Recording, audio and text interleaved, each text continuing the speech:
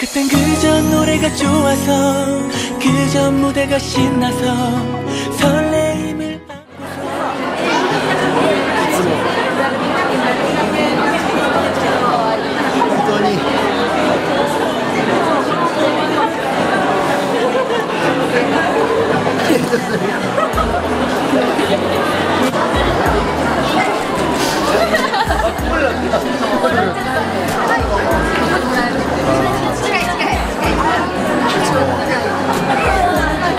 一昨年12月に12月に日本に来ましたけど皆さんにあ日本に来てから皆さんに会えて本当にそれが奇跡じゃないかと思います。皆さんがあいなかったら本当に今の B シャッフルもいないと思います。本当にいつもいつも本気の心でありがとうございます。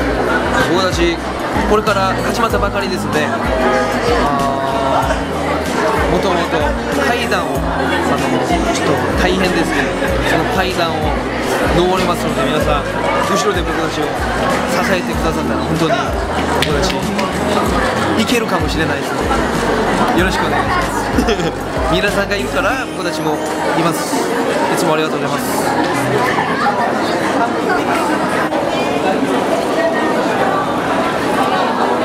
ファンの皆様に愛のメッセージを一つお答えしたいと思います。意を痛めるな。以上順でした。ありがとうございます。こん